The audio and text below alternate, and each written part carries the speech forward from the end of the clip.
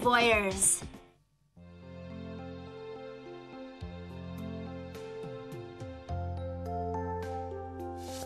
Hmm.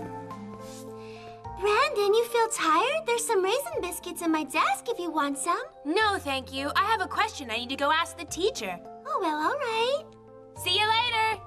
Bye. For Brandon, books are like food for his mind.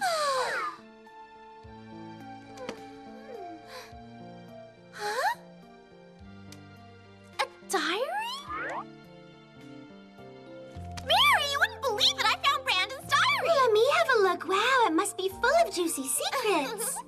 hmm. you know, we can't read someone else's diary. I think you're right. Hmm.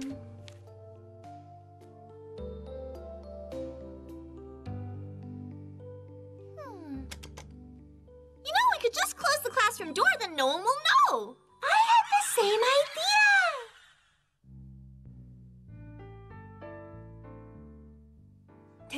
friend Jerry wore the coolest Hawaiian shirt. I wish I had one just like that. Wow! To think that Brandon has tastes like that. Hey, look at this. The worries in my heart. One day at recess time, there was nobody inside the classroom. I felt very hungry suddenly. Fortunately, I saw a pack of biscuits on Mary's desk. I thought many times and decided to eat one piece, but I never realized the biscuits tasted so good. Mary kept asking me to eat biscuits, but I always refused because I didn't think I could eat them for free. But before I knew it, I had finished eating the whole pack of biscuits when she was not there. what a jerk! He pretended he didn't want any. If I don't tell the truth, how could I ever feel peace in my heart? Hmm. No wonder. Just now I asked him to eat some raisin biscuits and he ran away. Brandon's so stupid. I always bring plenty of biscuits every day. I always offer food to my friends. A footstep. Someone's coming. Uh, Mary, remember only you and I know about peeping in the diary, okay? Don't worry. Definitely. I won't tell anybody. I pinky promise.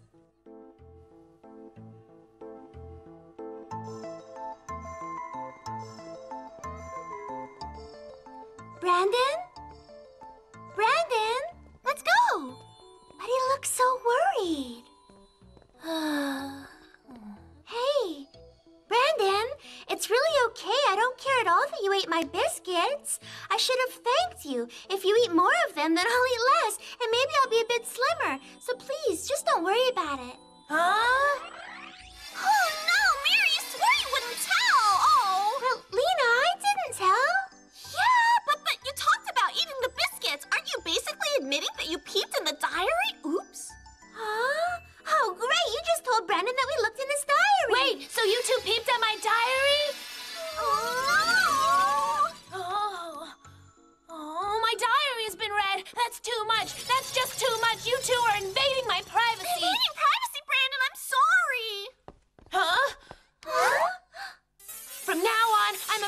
Ending our friendship.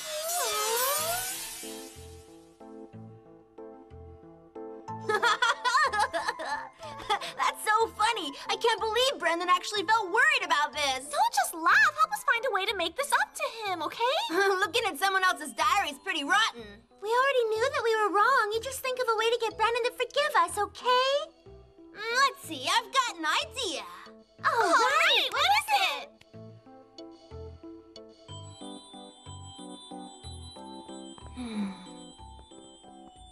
One, two, three, four, five. Sword of the King,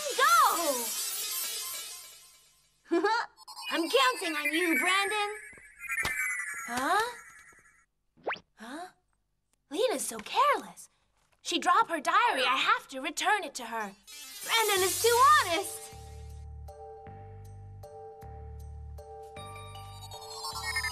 There, you should read it this time.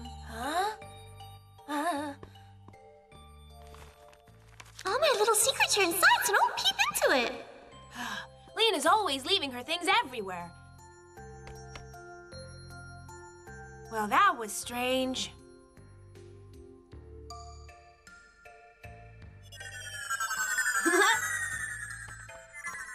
I think this time he's gonna read it for sure. Huh? Huh? Hmm. All my little secrets are inside, so don't peep into it. Well, I didn't do it on purpose. This thing appeared before me several times, so maybe it was meant to be. Uh-huh. Brandon, you finally want to read my diary. Don't close the book, it's all right. Actually, this is an apology letter from Mary and me. We hope that you can understand our curiosity when we found your diary and find it in your heart to forgive us. We promise never to peep at anyone else's things ever again. Hope we can still be good friends.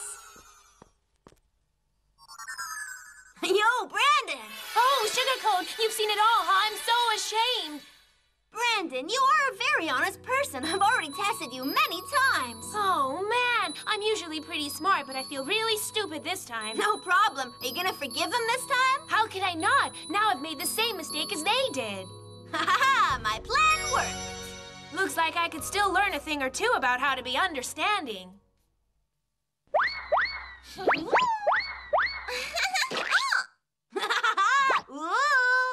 Whoa!